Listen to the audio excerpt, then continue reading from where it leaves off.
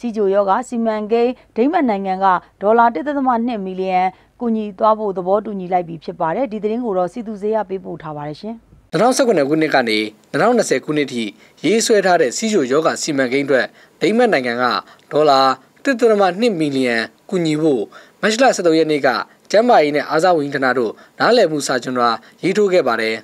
ဒီစီမံကိန်းမှာတိုင်ဝမ်လို့ခေါ်တဲ့ကလေးပေါ်မှာဖြစ်တဲ့စီးရိုလူနာတွေအတွက် အင်ဆူလင်ဆေးလက်လန်းမီအောင်ဆောင်ရွက်ပေးတော့မှာဖြစ်ပါတယ်စီးကျူယောဂရှိတဲ့ကလေးတွေကိုတိုးတက်အောင်ပြောင်းလဲပေးနေပါပြီအထူးကောင်းမွန်တဲ့စီးကျူယောဂကုသရေးအစီအစဉ်တွေကစီးကျူယောဂရှိတဲ့ကလေးရေအတွက်ကိုရှော့ချပေးနေပါတယ်ကလေးတွေမှာရှိတဲ့စီးကျူယောဂကိုတက်တာကောင်းမွန်စေတဲ့အစီအစဉ်ကကျွန်တော်တို့ရဲ့ရည်ရွယ်ချက်ဖြစ်ပါတယ်တိုက်ပွမ်းစီးကျူမျိုးစားရှိတဲ့ကလေးတွေအတွက်မြန်မာပြည်အနှံ့အပြားမှာစေကန်းတွေအများအပြားဖွင့်ပေးမှာဖြစ်ပြီးစေကန်းတိုင်းမှာကုသနိုင်ဒီပွဲကိုတက်ရောက်လာတဲ့ ပြည်အောင်စုဝန်ကြီးကတော့မြန်မာနိုင်ငံအနေနဲ့စီးကျူဖြစ်ပွားသူရေအတွက်ဟာအရင်များပြားနေတဲ့အတွက်တကြားတက်ပါဝင်မှုနှုံများတဲ့အစားအသောက်တွေကိုအခွန်တိုးမြင့်ကောက်တင်တယ်လို့မှတ်ချက်ပေးပြောဆိုသွားခဲ့ပါတယ်။စီးကျူယောဂါဟာပျောက်ကင်းအောင်ကုသလို့ရတဲ့ယောဂမဟုတ်သလိုမြန်မာနိုင်ငံမှာဖြစ်ပွားသူဥယျာလည်းလူဦးရေရဲ့30ရာခိုင်နှုန်းကျော်ရှိပါတယ်။ဒါကြောင့်စီးကျူယောဂါကိုဆရာဝန်တွေကပဲကုသပေးတာမျိုးမဟုတ်ပဲ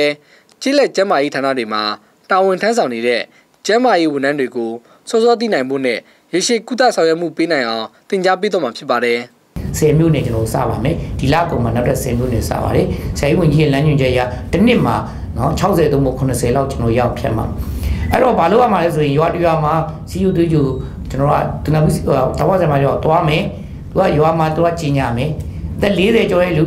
ဘွားတဲ့လူမျိုးရိုးရှိတဲ့လူစိတ်လေးတောက်တဲ့လူအကုန်လုံးအလကားလာစစ်ခွင့်ရှိတယ်တွေ့ရင်ကူပေးမယ်လူရင်လွှဲပေးမယ် เนาะအဲ့ဒါကိုကျွန်တော်လုပ်မှာပါစီယောဂဖြစ်ပွားနေသူ10ယောက်ထဲက9ယောက်ဟာကိုကိုကိုယောဂဖြစ်ပွားနေမှမသိကြပါဘူး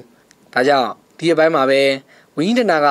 ရွေးချယ်ထားတဲ့ကြေးလက်တွေမှာစီးချိုတိုင်းကရိယာနဲ့စီးချိုလူနာတွေကိုလိုက်လံရှာဖွေသွားမှာဖြစ်ပါတယ်စီးချိုဝေဒနာခံစားနေရတဲ့လူနာတွေအတွက်ကိုတော့ရေရှည်ကုသနိုင်မှုအတွက်လူတိုင်းလက်လက်မိတဲ့ကျန်းမာရေးစောင့်ရှောက်မှုစနစ်ထဲမှာပါဝင်အောင်ဝင်းကြီးတနာကရေးဆွဲနေပါတယ်ကျွန်တော်စီသူစရပါ